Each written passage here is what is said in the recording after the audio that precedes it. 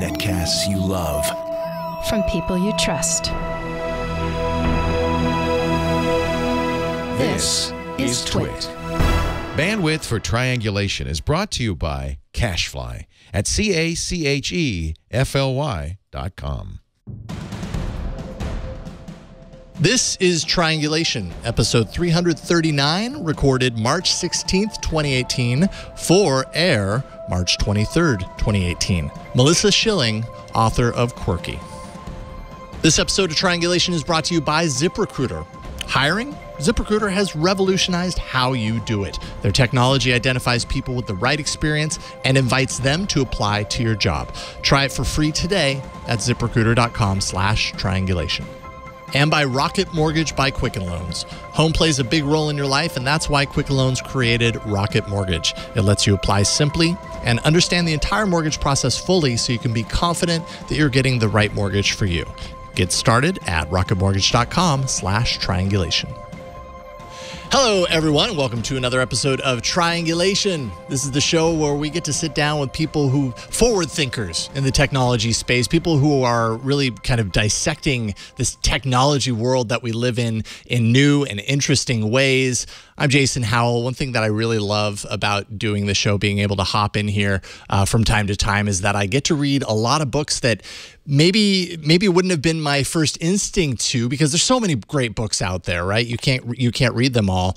Uh, but then you you come across these great reads and i got to tell you quirky which is the book that we're going to be talking about today uh, is fantastic. It's like eight nine, maybe 10 history books all combined into one that de- really goes into depth as far as what makes serial breakthrough innovators so effective, what, what makes them different from the rest of us that, you know, that just kind of look at, at, at the things that they're able to do in awe and appreciate the fact that they're able to repeat time and time again, uh, creating these world changing, amazing things. And joining us is, of course, the author of Quirky. It's Melissa Schilling, professor at NYU, also researcher, and which is completely apparent because this this book feels very well researched. Uh, Melissa Schilling, welcome to the Thank show. you. Thank you for for joining us today.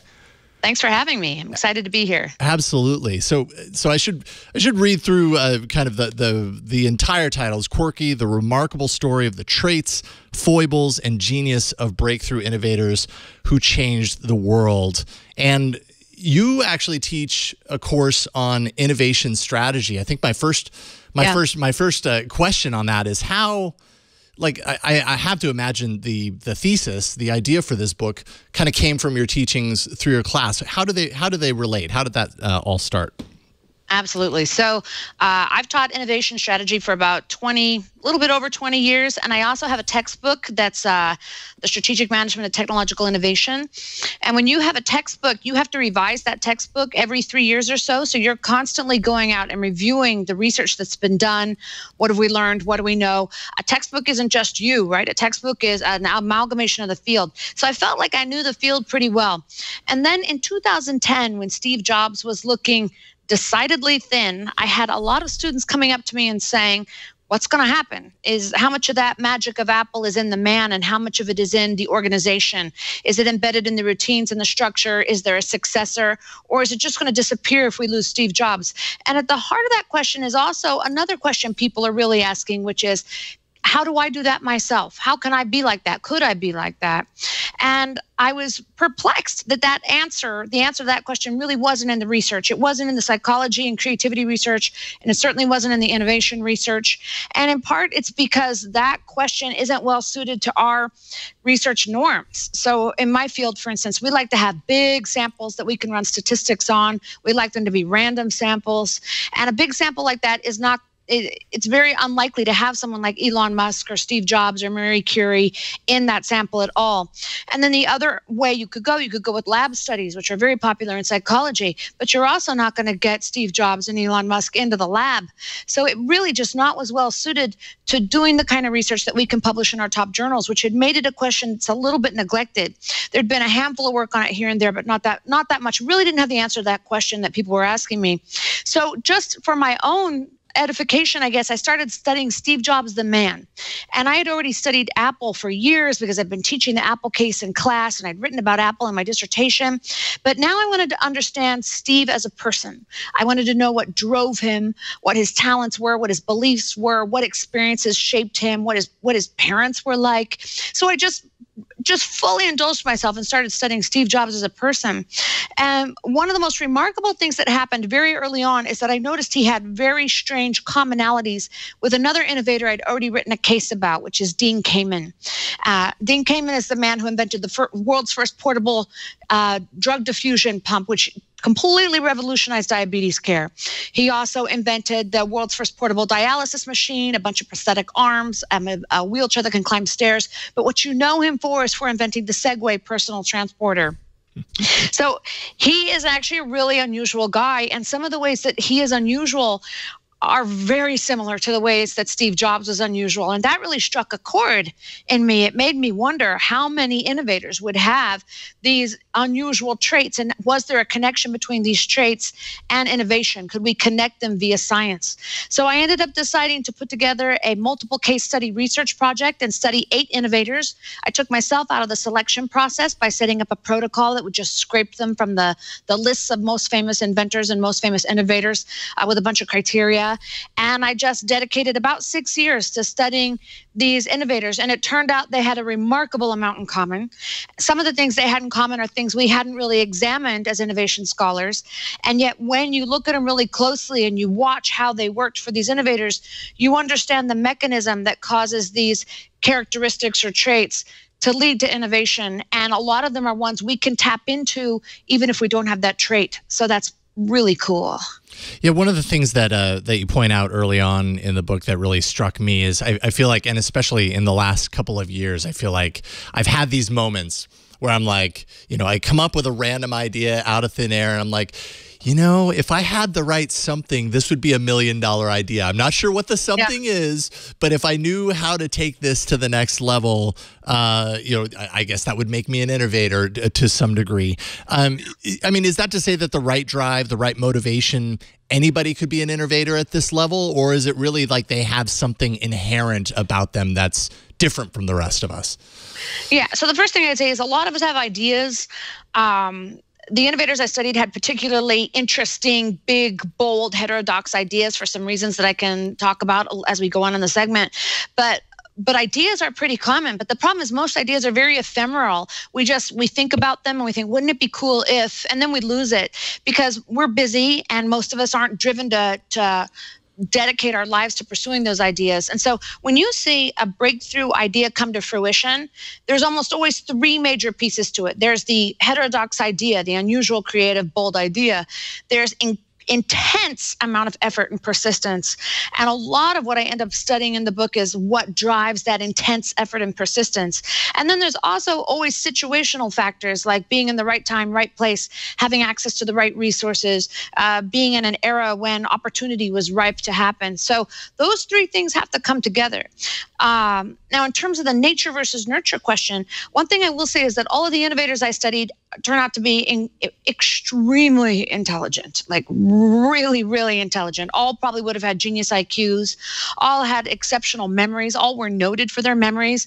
Uh, at least two of them had photographic memory. Uh, so those things are hard to imitate, right? Mm-hmm. It, that sort of photographic memory is hard for us to imitate. but a lot of the other things are actually learnable or imitable. Yeah, I mean, coming you can't just teach yourself how how to have a photographic memory, like, and no. or at least uh, from my understanding, it's the kind of thing that that you're that you are basically born with, and it happens. You know, hopefully it serves you in life, but I think for a lot of for some people, it can work in the negative as well. Um, what what about this this quirky quality? Obviously, your book is called Quirky, and that's because in your research and in the stories that you tell about these innovators, they all have a very kind of particular element of their personality personality that, uh, you know, really kind of sets them apart from the rest. Some would call it quirky. Some would call it maybe strange or weird or isolated, yeah. whatever it is. Why? Why right. do they all share that? Is that is that necessary? So yeah the, the the quirky title became because they all do share a weirdness and uh, one of the things i end up talking about in the book is that weirdness is actually really important because any breakthrough idea, any idea that's going to change the world, that hasn't already changed the world, it's going to be perceived as weird. It's going to be perceived as strange and maybe unreasonable, maybe impossible. And people who pursue ideas like that are often people who themselves are going to seem weird. But but I'd say the trait that that probably is most connected to this is separateness and this was really interesting because i wasn't looking for this i i didn't think about separateness before going into this research project and i hadn't seen anything really about it in in the research um, I could talk more about that if you want, but basically, seven out of the eight seven out of the eight innovators I studied had this really marked sense of separateness, meaning that they felt detached from the social world. Uh, maybe they felt like they didn't belong, or maybe they just were tended to be loners. So, sometimes they were uh, ostracized for reasons beyond their control. Uh, more than Edison was deaf, so that created a separation for him. But because they were separate, first of all, they weren't as as exposed to the norms of conventional wisdom. They weren't um, they weren't sort of socialized to reach consensus like everybody else. It also made them often believe that the rules of the world didn't apply to them. So they would reject society's rules. So if you think about Steve Jobs, for instance, he often didn't wear shoes and he didn't wear deodorant. He didn't shower very often and he would stare intensely at people without blinking, and which violates a, a pretty strong social norm. he didn't put a license plate on his car. He parked in the handicap spot every every single day. And that was because the rules of the world didn't apply to him that ends up being enormously valuable for deciding you're going to pursue something that other people think is unrealistic or isn't the right thing to pursue or might be impossible. And he became a person who fought fiercely for things that other people didn't necessarily think was the right strategy. Uh, and it was that's that's one of the reasons he was able to achieve so many things that we remember him for. Um, and Albert Einstein actually wrote at length about this. Like Albert Einstein said, he loved humanity, but he felt detached from people. And he even felt detached from his family. And he said that that might not have made him very genial, but it made him an independent thinker. And it was one of the major reasons that he was able to cast aside a lot of the Newtonian uh, rules that were holding back other academics and scholars. And as a result, he completely revolutionized physics because he felt like its rules didn't apply to him. Yeah, yeah, it's fascinating. So I, I, guess we should list off here just just real quick the eight subjects that you did choose for this book. And mind you, the, the, your book you also go into subjects outside of these, but these seem to be the the major focus: Albert Einstein, Benjamin Franklin, Elon Musk, Dean Kamen, as you mentioned, Nikola Tesla, uh, Mary Curie. Uh, which I, I, was fascinated to learn more about Mary Curie, um, Thomas Edison, and then Steve Jobs. And uh, we have to take a, a, just a quick break to uh, thank the sponsor, and then we're going to come back and kind of talk about how each of these subjects fits into the, the main characteristics that you that you lay out in the book. And uh, you know, those of you watching and listening, you can you know have a, have a pad and, and pencil ready to write down the things that you share with them, and maybe the things that you don't. Who knows? Maybe you too could be a serial uh, innovator of your of your own. Uh, but before we dive into that, let's thank the sponsor of today's episode of Triangulation. And that is ZipRecruiter. If you're hiring, if you own a business, you know the value of finding the right people. And that is what ZipRecruiter is all about. Every business needs great people. It's a pretty common trait between all businesses. And you probably need a better way to find them, something better than posting your job online, which is what everybody does, and then just waits for things to happen, prays for the right people to see it. ZipRecruiter knew there was a smarter way. Uh, so they built a platform to find the right job candidates for you, to make it easy for you to find them, in fact. ZipRecruiter learns what you're looking for, it identifies people with the right experience, and then invites them to apply for your job. These invitations have revolutionized how you find your next hire. In fact, 80% of employers who post a job on ZipRecruiter get a quality candidate through the site in just a single day. That's all you have to like. That's the most mental bandwidth you have to devote to it. Probably, if you're posting on ZipRecruiter, it's going to be pretty easy, especially compared to the rest. And ZipRecruiter doesn't stop there. They even spotlight the strongest applications that you receive, so you never miss a great match. They point it out for you. The right candidates are out there. They are. The internet's a big place, and there are a lot of capable people out there. ZipRecruiter is going to be how you find them. Businesses of all size trust ZipRecruiter for their hiring needs. And right now, you can try ZipRecruiter for free. That's right, free all you have to do is go to ziprecruiter.com slash triangulation. That's ziprecruiter.com slash triangulation. And one more time for good measure, ziprecruiter.com slash triangulation. ZipRecruiter is the smartest way to hire. And we thank ZipRecruiter for their support of triangulation. So uh, let's kind of dive into some of these characteristics that you spell out in your book and uh, kind of see, you know, what they share. It, it struck me that out of the eight subjects that you that you focus on, I wouldn't say that there there was one characteristic that all eight of them had guaranteed. Like there was a little bit of Oh, there fluidity there. Which, which is the one? I'm Actually, curious. there's two, but the, the one that's probably most important is they all had really, really high self efficacy. Oh yes. Uh, yeah. So you want me to talk about what self efficacy is, real A- quick? absolutely. Yeah, let's dive into that. That's Okay. that's that's absolutely perfect for the top. Okay, so self efficacy is a type of task related self confidence that is your belief in your ability to overcome obstacles to achieve your goals. Uh, a person could maybe not appear to have generalized self confidence. Like if you met Marie Curie, maybe you wouldn't think she was very confident, but she had incredibly high self efficacy, as did every single innovator I looked at. And you could, there was lots and lots of ways to see it and measure it. And what self efficacy does is it completely changes your notion of what's possible. Because if you fundamentally believe you will overcome obstacles to achieve your goals, then when you hit hurdles and obstacles, instead of having them knock you back and make you think, well, maybe this isn't going to work, or and maybe discouraging you and thinking you should quit, these people just thought they have to dig in harder. And what looks like risk tolerance, because they would take on incredibly projects that are incredibly risky, is uh, actually just a completely different calculation of risk. Because if you believe you can overcome just about any obstacle, the risk is lower for you in your mind. And uh, this is one of the major things that drives innovators to take on things that other people think are impossible. And one of the one of the great things about self-efficacy, there's a bunch of great things about self-efficacy, but one of the great things about it is that uh, it'll not only make you more innovative, but it'll often make you more productive in just about any job. It'll often enhance your sense of well being. It's a very powerful and valuable trait, and it's one that we can learn, and it's one we can cu- cultivate in other people, and we can cultivate it in our children. We can cultivate it in our employees. Uh, it, it's definitely one of the characteristics we should learn more about and utilize every single day. Yeah, it, it definitely shows a, uh, a maturity in thinking when when you are able to approach a task like this and really have that just extreme confidence, which is uh, what you called out in the book.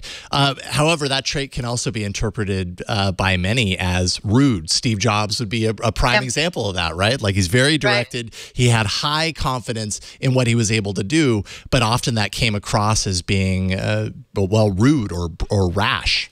Right? Or hubris right? Yeah.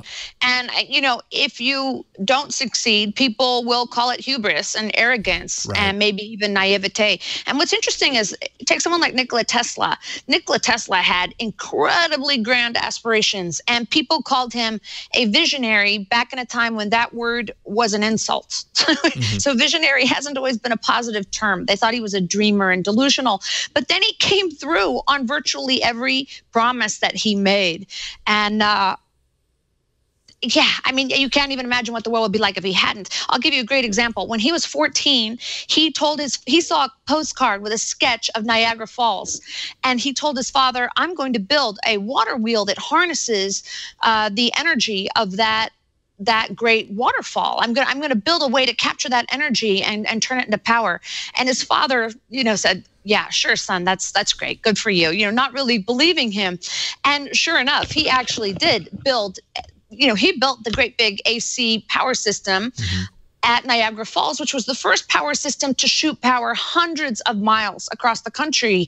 You know, up until that time, power had only been transmitted a couple of miles. It was weak. Uh, but the AC power systems that he developed were much more powerful, and we still use those AC power systems today. Uh, he also invented wireless communication, and for years that was attributed to Guglielmo Marconi. Guglielmo Marconi, and then only after Nikola Tesla's death, there was a big patent case involving the, the Navy, and they ended up revealing that all the work was actually based on Nikola Tesla's.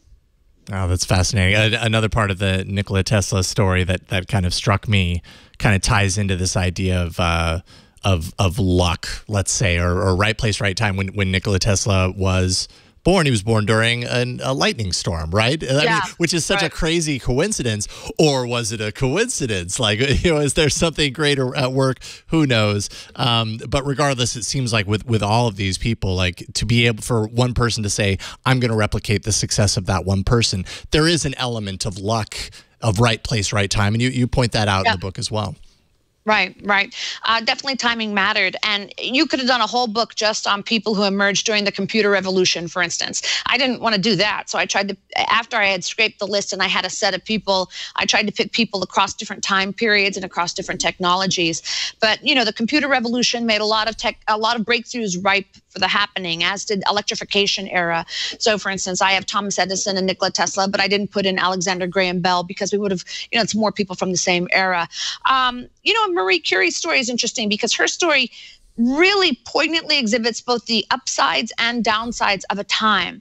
So, for instance, she was this brilliant girl who taught herself physics and math and chemistry, a very dedicated student, well ahead of her grade level all through school.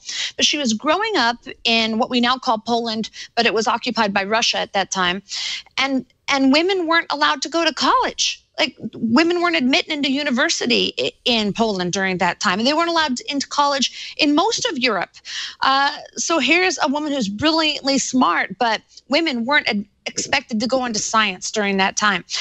And she wanted to be a scientist. So she scraped together funds from being a governess and managed to travel to Paris so that she could attend the Sorbonne, one of the few universities that did admit women, and ultimately got her PhD there and went on to become the first woman to win a Nobel Prize, the first person of any gender to win two Nobel Prizes, uh, and Nobel Prizes in different fields, in fact. And her daughter would go on to become the second woman to win a Nobel Prize. So, a truly remarkable person. But I mentioned that the downside of timing, the downside was that women weren't really accepted into science. So, she was she was discriminated against. She wasn't allowed to present her papers in the academy. They didn't actually want to give her the Nobel Prize at first. They wanted to give it to her husband, Pierre Curie. So she really faced a lot of uphill battles. On the other hand, the upside of time is that she was pursuing her PhD right after Röntgen had discovered his mysterious rays and Becquerel had discovered mysterious rays. So she decided to study mysterious rays and subsequently discovered radium and radioactivity as a atomic property. So she benefited from timing as well. Yeah, absolutely. Um, there was a, there was a lot about Mary Curie in the chapter that focused on separateness, which Yeah. seems like a very you know yet another very common trait. Einstein, uh, you went into detail in that area, but Mary Curie, socially isolated. How important of a of a factor? Is that to to the majority of these innovators? Do they need that time that that kind of isolated time to allow them to foster their ideas without that influence from other people? Is that why that's so necessary? Yeah, let's talk about that for a minute. Um, you know, Marie Curie, the the reason why, the main reason I think why she felt a sense of separateness is that as a child, her mother died of tuberculosis and her sister died of typhoid, and she spiraled into a chronic depression. Just existed in a state of depression for a very long time, and she would escape into her schoolwork and study, and didn't want to have any social activities, and didn't identify with the other kids of her her age in social activities felt awkward around them. Um, and as a result she didn't fit in. But because she didn't fit in she didn't strive to fit in. So when she went to pursue her phd and everybody looked at her like what are you doing here? You're a woman trying to become a scientist. Who do you think you are? She just ignored them. And that was hugely important. And, you know, later on when the Nobel Committee said, uh, we don't want you to come pick up your prize, she just ignored them basically and just put her head down and worked. So that feeling separate was was super important uh, in terms of her ability to pursue something even in the face of criticism. But the other thing that you're you're seeing there is that and you see this also with with with almost all the innovators is that having time to work alone and think alone it gives you a chance to form your own associations about how the world works. It gives you time to discover what you find intrinsically interesting and important. And it's just going to make you a more independent thinker. And I think uh, one of the things this really affected me personally was that you know, I have kids and I have a lot of friends with kids. And one of the trends right now is to schedule the heck out of your kids. Yes, it is. So, you know, your kids are in music class and language class and they're doing soccer or glee club. And we're so worried about having our kids being, you know, so fully skilled up so that they have a great college application and to have lots of team activities so that they know how to negotiate and be charismatic and all these things. That sometimes what we lose sight of is the fact that kids need downtime to think about who they are and what they believe. And uh, that's not screen time because when you're looking at a screen, you're re- screen, you're reacting to somebody else's creative idea, right? Yeah. They need time to read and think and write. And one of the things that also came through really strongly with this with these innovators that's related to this is that a lot of them were autodidacts. They were self-taught, even if they went to school. So first of all, they had a lot less formal education than you'd expect. A lot of them chafed with the formal structure of school, but they were all in voracious readers. And that enabled them to study the things they wanted to study at the depth they wanted and at the rate they wanted and at the format they wanted. And they could move across fields when they wanted, or they could just drill down into one when they wanted. And that was hugely important so many of these people were self taught. And I think it has a lot of implications for how we think about education. We, we shouldn't just be counting on classrooms where we've diced up all the topics really evenly and apply them uh, in a standardized fashion to every student people aren't standardized and thank god they're not or we wouldn't get breakthrough ideas. Yeah it's uh, that's an interesting point. Um, elon musk was one of the one of the examples that really you know kind of struck me from the book as far as being that you know just from an early age reading all the books in the library then going to the encyclopedia because there was nothing else to to read yes. and and learning from that too. And uh, yeah i mean when i think about when i think about my kids one of the struggles or one of the things that we've learned over time is that our, initial reaction was to schedule all these things because you want them to be active and you you know you don't want them to be too too too inactive because when they're inactive maybe they're not learning or maybe they're not experiencing or whatever. But you also want them to be bored because when they are bored that's when create true creative thinking can happen once they yes. have the ability to kind of maneuver through that boredom. That might take some time, uh, but come out the other end and come up with something that they wouldn't have thought of to do. And that's that's where this kind of uh, this critical thinking emerges from that that I'm sure sets these innovators apart from everyone else. Absolutely. Absolutely. Yeah. Um, you know, and it's funny that you mentioned Elon Musk he not only so he read every book in the library as you mentioned and then started in on the encyclopedia. And because he has a photographic memory he committed large pieces of it to memory. And then he would recite them to his friends or he would recite them to kids at school and they wouldn't like him very much because it doesn't apparently it doesn't endear you to others to recite tracks of the encyclopedia. Yeah if you if you're the know-it-all yeah you're not always everyone's best friend if you're the know-it-all. Yeah so while we see, um, you know, when I first started this project, my impression of Elon Musk was this Tony Stark character because yeah. I had read that Jon Favreau had based the Tony Stark character in, in Iron Man on Elon Musk. And so I thought he was going to be this playboy socialite kind of guy, but he's not like that at all. You know, and when he was a kid, he was very, he was smaller than the other kids, even though he's a very large man now. Uh, he was very small and he was very nerdy and he was very bullied. And so he would just run home and escape deep into books every single day and taught himself to program and wrote his first software game by the age of 12 and you know today kids might write a software program write a software game at the age of 12 because there's a youtube tutorial mm-hmm. and lots of apps that make it easy.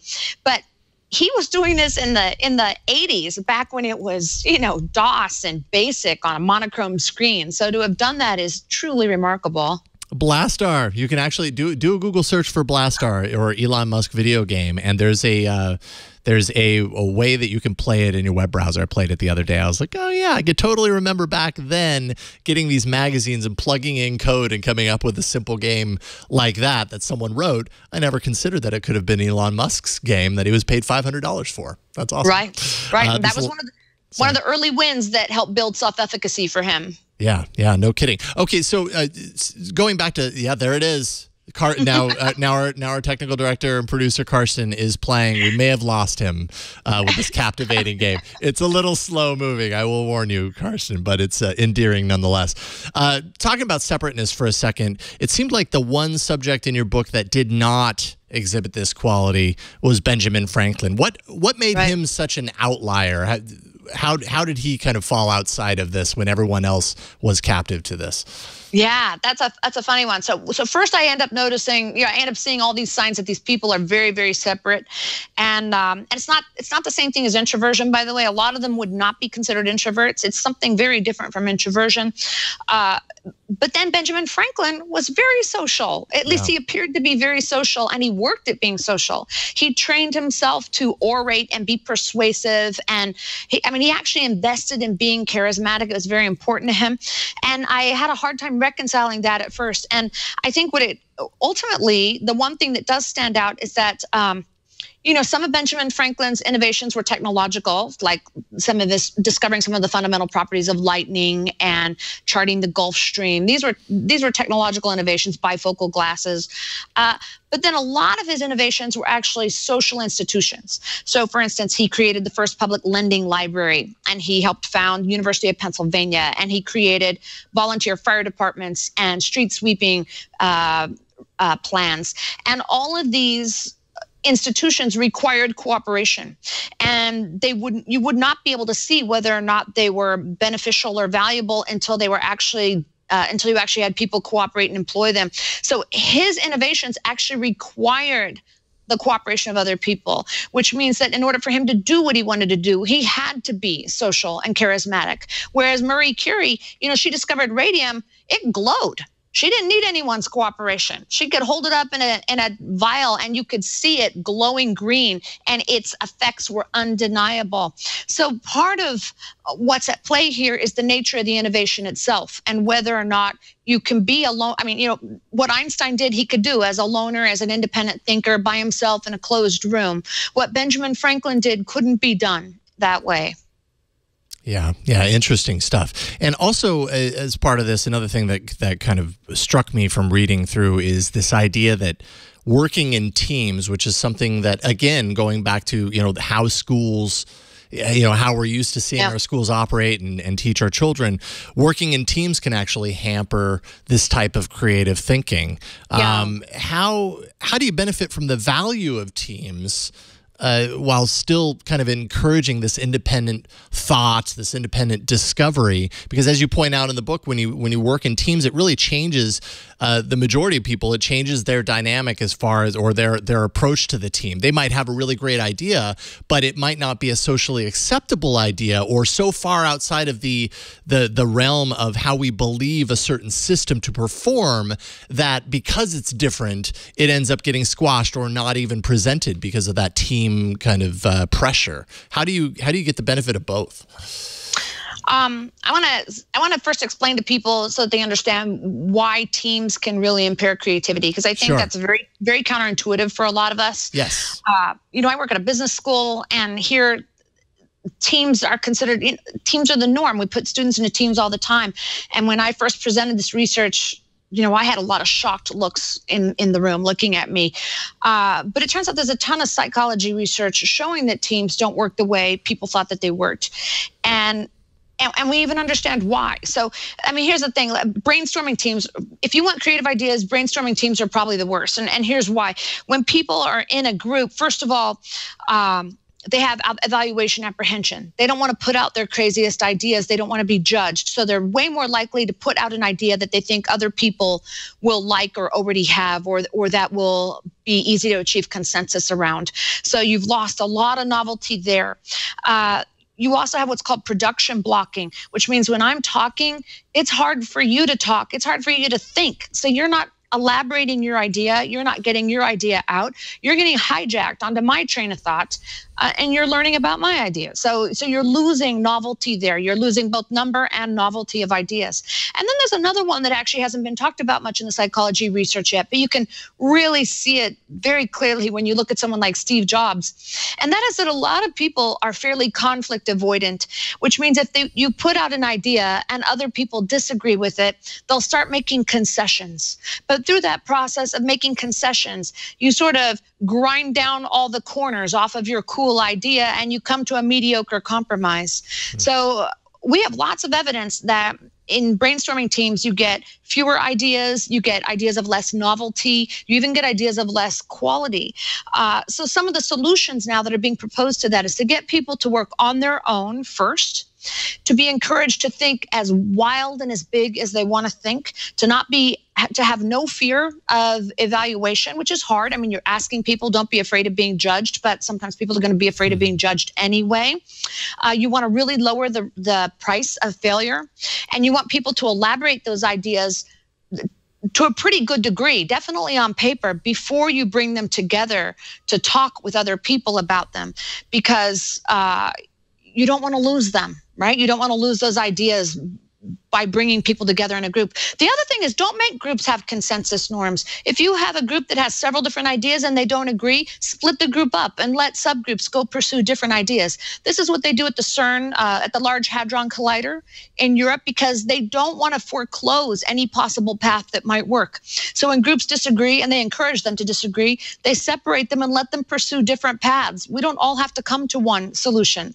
Yeah, I, lo- I loved that example of how how CERN um, works behind the scenes. I actually have a, a, nephew of mine who is who has gone out to CERN, so I've heard some stories from the inside. It's interesting to hear that kind of approach. If we had more of that, I mean, no doubt there would be much more uh, creative and critical thinking uh, happening. And I, I feel like there's a lot of that that that's kind of missing. Like today's society feels so go go go. It feels like make the decision, move on, move on so this idea of of taking time alone and to really understand your passions and your interest and your creative thought on tackling a certain task like it, seems to go counter to everything else that's happening in this in this fast-paced society. But um, that's a really great approach. Of hey it, it should be on a t-shirt. If, if cern's doing it so should we. Uh, let's take a quick break and thank the uh, the sponsor of this episode. Then we'll get back. We've got other other uh, characteristics to dive into. Uh, but before we do that, let's thank the sponsor of this episode of Triangulation. That is Rocket Mortgage by Quicken Loans. If you've gone through this process, if you've done a mortgage process, or maybe you've talked to someone and they've told you any horror stories about just kind of the complication that surrounds setting up a mortgage, it's not the easiest thing in the world. Really needs a client focused technological revolution to bring it into the now, into the digital age. And that's what Quicken Loans uh, created with Rocket Mortgage. Rocket Mortgage gives you the confidence that you need when it comes to buying a home or refinancing your existing home loan. It's simple. It allows you to fully understand all the details and be totally confident that you're getting the right mortgage for you. It's convenient. Their trusted partners allow you to share your financial information with Rocket Mortgage at the touch of a button. They make it super easy for you. It's also powerful. Whether you're looking to buy your first home or your 10th, Rocket Mortgage is able to perform thousands of calculations in seconds. And it's all based on your income, your assets, your credit. They take all that into consideration, and Rocket Mortgage will analyze it and offer up the home loan options for which you qualify, and then find the one that's just right for you. So you know exactly what you're going to get, and you know that it's been pored over and looked at uh, effectively. Rocket Mortgage by Quicken Loans applies simply, understand fully mortgage confidently. To get started, all you have to do is go to rocketmortgage.com slash triangulation. That's rocketmortgage.com slash triangulation. Equal housing lender licensed in all 50 states and MLS consumeraccess.org number 3030. And we thank Rocket Mortgage by Quicken Loans for their support. All right, so we're speaking with Melissa Schilling, author of quirky, a fantastic read. By the way, you can get it on Audible if uh, if if you want to listen to it. I did that as well as read uh, through the book. It, it fit into my schedule perfectly, and the the read, by the way, on Audible is fantastic. Um, so really enjoyed the audiobook. Uh, third characteristic we haven't really talked. I mean, we've we've we've touched on the creative mind uh, a little bit, but let's dive into this a little bit. What is what is the difference? What is the line between intelligence and creativity when it, i mean uh, it's probably a very blurry line now that i think about it but uh, yeah. talk about that a little bit yeah, that chapter also talks a lot about. Uh, it actually explains a lot of why we associate madness and genius together, which is pretty fascinating. So I'll start with the intelligence part. Uh, you know, and I, and I want to back up for a second. A, a, lot of what's in this chapter was really revealed by studying Nikola Tesla very intensely. Because mm-hmm. Nikola Tesla had traits that it turned out all the other innovators also had, but he had them to such an extreme that you couldn't miss them. So there are things you notice in Tesla that you didn't notice in the others until you went to look for it. Uh, if you if you study no one at all, if, if you had to pick one innovator in this group to study, you'll probably pick Elon because he's so hot right now. But um, but you should study Nikola Tesla because he is the most extreme of the innovators, and in some ways uh, a little bit broken. Uh, clearly, the most quirky. I'm gonna. So I'm gonna. I backed into this thing on intelligence. They were all very intelligent. That was very, very clear. They they a lot of them also had very distinct signs of what we would think of as a dopamine irregularity. So maybe a little bit of elevated dopamine or volatile dopamine. I mean, Nikola Tesla was flat out manic and had you know obsessive compulsive disorder. So he had some pretty extreme dopamine irregularities. But uh, having modestly elevated dopamine is really valuable for creativity because it it causes divergent thinking and it also lowers latent inhibition, which means you don't screen out as much stuff and you get more defocused attention and you're incorporating more stimuli than you would normally. So we know that modestly elevated dopamine is related to creativity. And in fact, there was a really interesting thing that happened when I was doing this study I started this, remember, in 2010. And one of my colleagues came to me and he said, Did you hear that they've discovered that when people have Parkinson's, it can open up a whole creative genius thing that they never knew they had? They might become artists or sculptors or whatever. And I thought about it for a minute, and and really quickly I thought it's it's not the Parkinson's, it's the levodopa they're giving them because levodopa is synthetic dopamine, and probably when they first get on this levodopa, they've probably got elevated dopamine, and and sure enough, a few months later, they did another study and they're like, oh, it's the levodopa.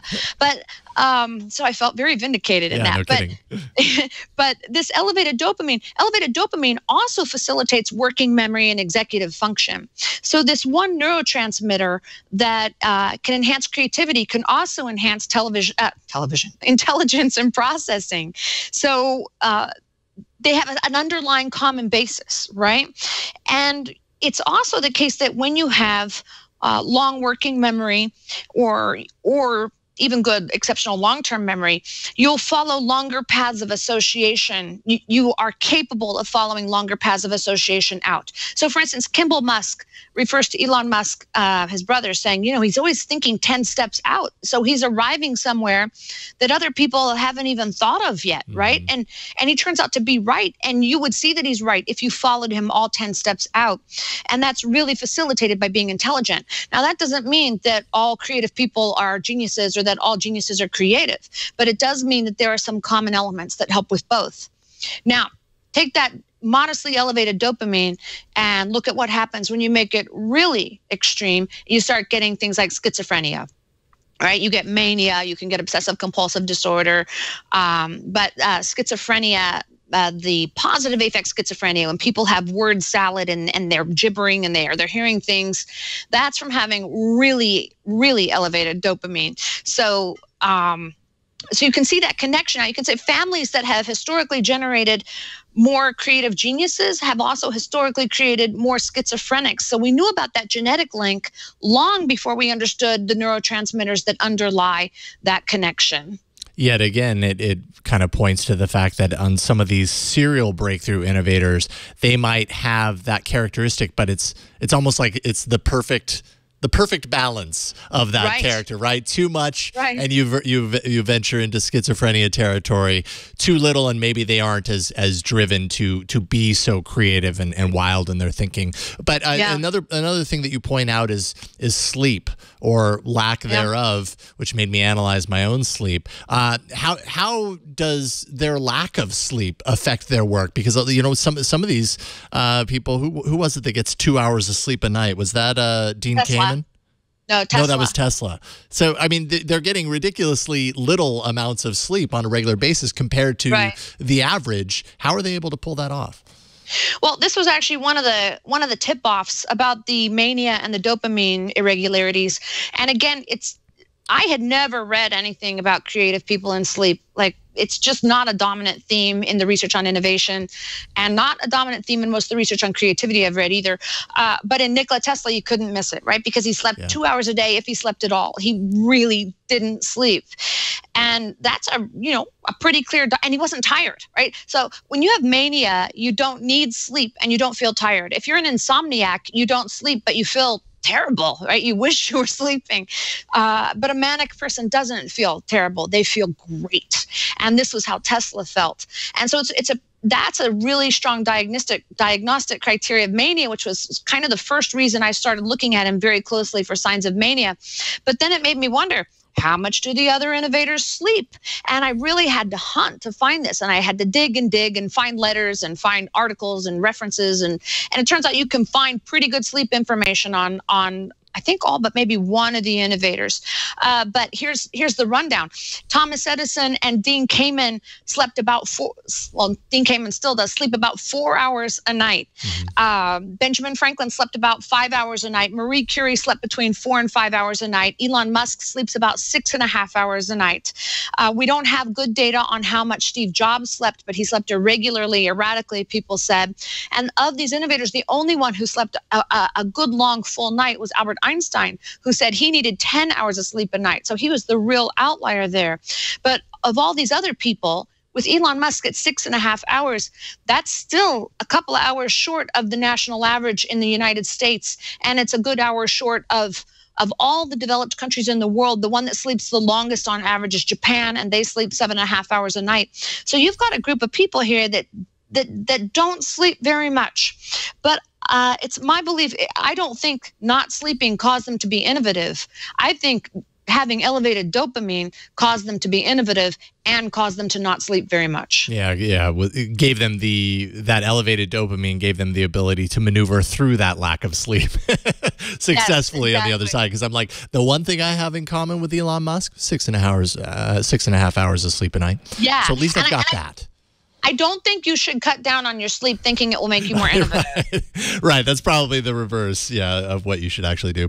Uh, speaking of Elon Musk, I think he's kind of the embodiment of the higher purpose idealism uh, part of your book. And actually, Elon Musk is one example, but I feel like Silicon Valley in general. We, we hear a lot about this, right? Like what we're doing is going to change the world. You know, they really Yeah. feel confident about the fact that their time, their inventions are going to elevate the quality of, of life for the world and beyond. Talk a Right. talk a little bit about how, how Elon Musk kind of kind of falls into that uh, about the ideals of these figures, you know, as relates to this higher purpose. Okay, so seven of the eight innovators I studied had this intense idealism. The outlier on this one is Thomas Edison. He was not an idealistic person, and he even talked about not being an idealistic person. But the other seven innovators are all extremely idealistic. Which again, uh, I you know I knew Steve Jobs was idealistic, and I knew Dean Kamen was idealistic, but I was really surprised by how idealistic all the others were. And in Elon Musk, you know, I, I it, it's, it's amazing to study this man because Yeah. he um you know he could have retired after the sale of paypal right when he was 28 years old. He had 180 million dollars. He could have just gone and lived on a beach with a mojito in his hand the rest of his life. He didn't need to gamble it all on two incredibly risky intense ventures. And that's exactly what he did. And basically it came down to this. He didn't need money anymore but he wanted to work on problems he's a person who needs to work all the time and he needs to be mentally stimulated all the time. And he asked himself what does the world need? What would make the biggest difference and he thought you know we are in a uh, on a collision course with disaster because we're using up energy too quickly and we need more sustainable energy solutions. And he sketched out the idea for solar city and gave that to his cousins to implement and then also started looking around for a way to create an electric car which is how he ended up with martin eberhard developing the tesla um, because cars are a, a big consumer of, of fossil fuels and it's liquid fuel which is which is harder to replace than other, some other types of energy. So tesla was about solving the world's energy problem but then he also fundamentally believes that it's very likely that some event will happen that will destroy uh, life as we know it on the earth it's just a probabilistic uh, likelihood, and that the only way to preserve the human species is to have a colony somewhere else, not on Earth. and so he built SpaceX to colonize Mars. And he had to make a very conscious choice not to take that company public because, you know, he's got 100 million of his own money or more at this point, probably now, in SpaceX. And at one point, he was flat broke because he put all his money into SpaceX and Tesla. I mean, he really put it all into those companies. He had to borrow rent money at the time. He was on the verge of bankruptcy. It was a very difficult time for him. But he really believes in going to Mars and he won't take the company public because he knows a board of directors would probably force him to make compromises that would lower the likelihood of getting to Mars. And so he's not willing to do that. So here's a person who put his own money on the line and uh, you know, anyone who thinks that he is in these businesses for the money hasn't been paying attention. Because if you study him very closely, it's very, very clear that he's not in it for the money at this point. He's in it to change the world.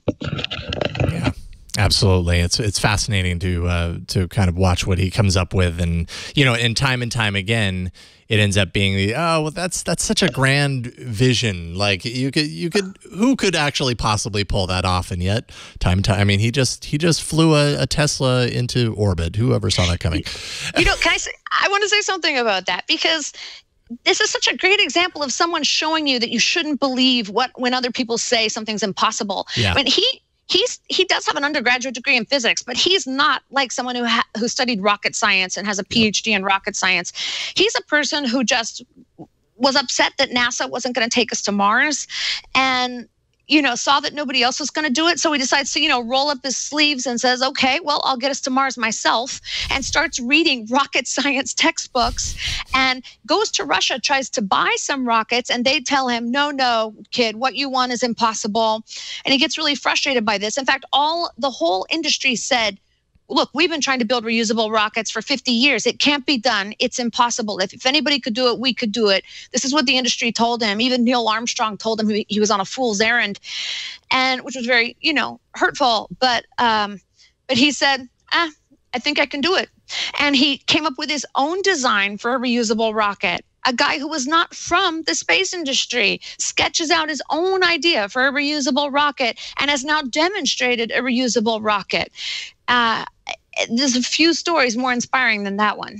Yeah, and you put, you also point out in the book um, that there is something to be something big that there's something to the fact that when it comes to disrupting a particular industry or, or, a particular way, you know, generally accepted way of doing things, you know, oftentimes it is the newcomer to that industry because right. the establishment uh, within that industry has already kind of accepted the fact that this is just the way that it's done, and there really is no way outside of this to do that.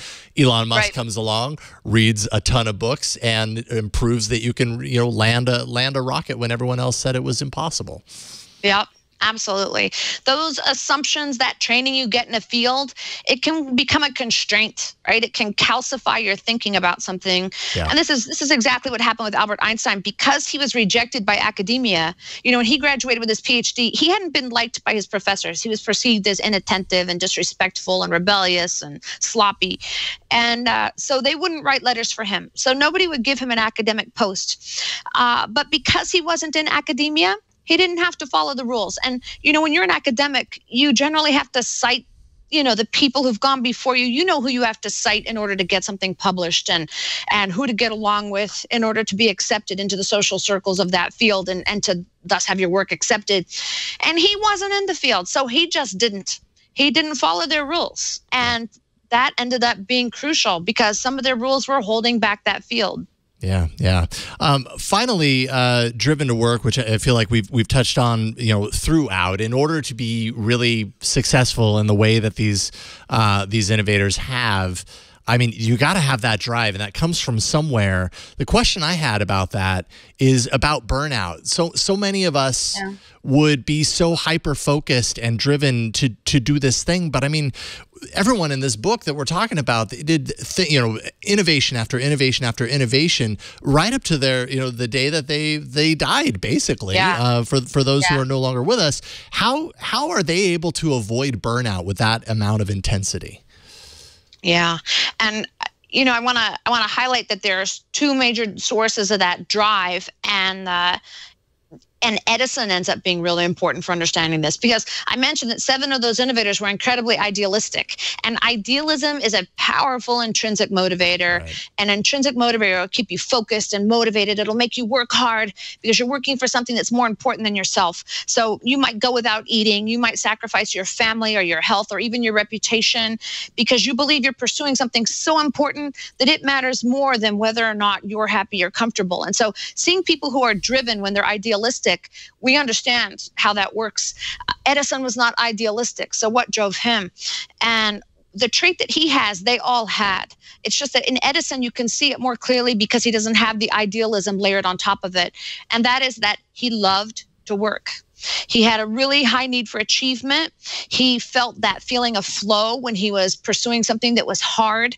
And uh, I like to equate him to a border collie because I'm, I'm a dog person. And mm-hmm. um, if you, anyone is a dog person, if you know, a border collie is a dog that loves to herd sheep and it loves to work hard herding sheep. And you don't have to train it, you don't have to reward it because that work is the reward. And it would, you know you have to stop that dog from doing that work. And there's a saying among dog people that if you don't give a border collie a job it'll find its own job and you won't like it. Yep, yep. So, so they don't make great house pets a lot of the time. They're they're really working animals. But you know, Thomas Edison was a border collie. He was a working animal. He was only happy when working, and he could work longer and harder than the people around him. And the people he worked with would remark on it, and they would say things like, you know, he really can't understand the rest of us. He doesn't have much tolerance for the rest of us because he doesn't have the limits that the rest of us have. And uh, I would love to understand that more. I think there is actually some interesting clues that is just a brand new area of research that's on, it's called, um, the shorthand, the acronym is NEAT. It stands for Non-Exercise Activity Thermogenesis. I think it is. It's it's a study of the fact that some. It's mostly done in mice. So usually you're looking at mice. Animals just naturally utilize and burn and consume more energy than others, even if they're closely related. So there's this line of research that looks at very closely related mice from the same strain. And it looks at how many times they'll turn the wheel in their in their cage. You know, they put an exercise wheel in the cage and it's voluntary exercise. And some mice will you know, do 14 turns in a wheel voluntarily in a day. And some mice will do 14,000 turns in a wheel. And those same mice will fidget more and they'll groom themselves more and they'll be more aggressive. So there's something that we don't quite understand yet that makes some animals just more active. And I think that that's the kind of animal that Thomas Edison was. I actually think it's the kind of animal that they all were. Uh, you see it in Marie Curie too. She would stay at her bench and she would work until she fainted and she forgot to eat all the time. and, and one of her daughter's earliest memories is of her mother fainting at her workbench. Right. Uh, but some people feel this this urge and it, this also could be related to dopamine but i don't think we have the answers on this yet yeah, yeah.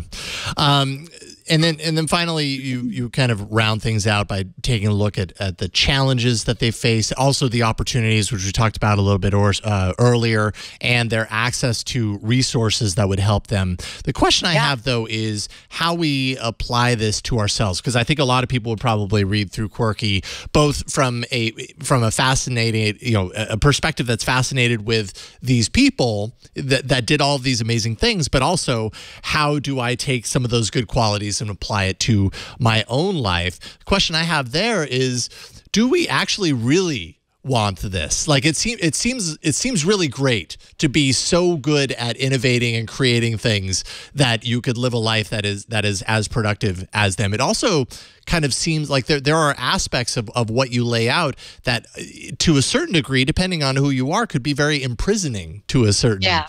to a certain yeah. degree. I mean, a lot of these people had very hard lives. They'd yeah. had had lives that you wouldn't want, right? That they would make you unhappy.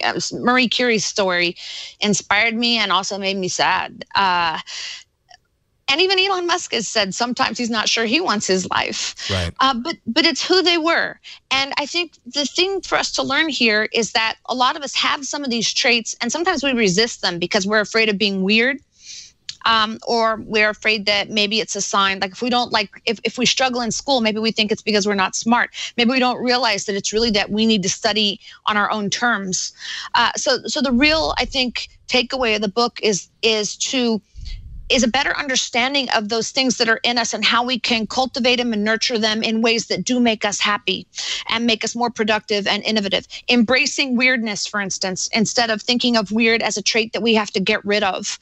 Uh, or or studying on our own if we don't like the way we have to study things in school reading more reading the things we want to read feeling like we can do anything we set our minds to that actually makes you a happier person, I think. Yeah, absolutely. Um, finally, and if you don't mind me asking, I mean, you know, uh, beyond the the topics of the book, a slightly more personal question, and I'm perfectly happy to answer it myself as as a trade off. What did you learn about yourself most within all the research that you did on this book? Because it's hard it's hard to read the book and not be very introspective.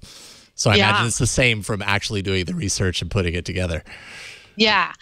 Um, wow, I didn't even know you were going to ask that question. but, um, I learned a, I learned a lot of things, um, and one of the things I think that has been really incredibly liberating is that uh, I grew up very isolated. I grew up in a cabin in the on a mountain in the middle of nowhere because I have a very reclusive mother, and she was at work a lot, and so I was just there in the cabin by myself a lot.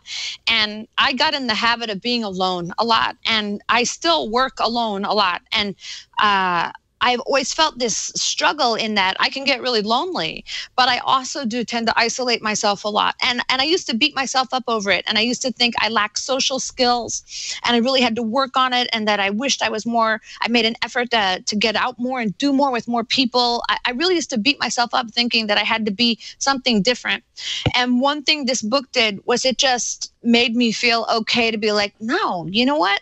This is who I am and this is how I like to work. And and it's probably the way I work best. And I'm just going to accept me. And that was that was really powerful for me. Absolutely. Um, I would I would probably say very close to the thing. Uh, the same thing as you act acting more on my own instinct, trusting that your instinct actually comes from somewhere valuable and that you know you have an inner voice to not really squash it and and, yeah. and silence it because because of that social pressure. It really seems right. like everybody in this book, did, you know, for for all of their quirks, did a really great job of trusting that inner voice and, and realizing that it has value and there's a reason for it. Yeah, definitely. Yeah. Absolutely. Uh, thank you for answering that question. It, it, it, occurred to me, and I was like, oh man, do I ask this? Venturing on a little personal territory, but I'm really happy that I asked it because I think a lot of people that would read through uh, Quirky would probably come up with very similar uh, analysis of their own lives, and that's I think what makes it such a, such a successful uh, read and so fascinating, both from a history perspective, like I said, but also from from a way of analyzing you know your own traits and learning more about you. Uh, Quirky, the remarkable story of the traits, foibles, and genius of breakthrough innovators who changed the world. And uh, Melissa Schilling, really appreciate you taking the time uh, to talk with me today about your awesome book. Thank you so much. Thanks for having me. This was really fun. Absolutely, and uh, of course, you can find Quirky. Uh, you know, go to Amazon or your local bookstore if there is a brick and mortar bookstore. Uh, now, I'm sure you can find it there too. Uh, thanks again, Melissa. We'll talk to you soon, and best of luck. Thank you. All right. Uh, this is Triangulation. We do this show every Friday. Normally, we record this every Friday at 6 p.m. Eastern, 3 p.m. Uh, Pacific, 2200 UTC. This actually recording was a little bit earlier in the day, but you'll still get it in your feed if you're subscribed. Just go to twit.tv slash TRI or twit.tv slash triangulation. And you can subscribe to the show. You can find all the links, all the different past episodes, the fascinating people that we've interviewed uh, in previous episodes. There's a lot to dive into there. So if you're just getting started, you've got a lot of catching up to do. Uh, I'm Jason Howell, and I really appreciate the opportunity to do this. Thanks to our producer and TD Carsten uh, for setting all this up and making it uh, so enjoyable. And thanks to you for watching. We'll see y'all next week on another episode episode of Triangulation. Bye, everybody.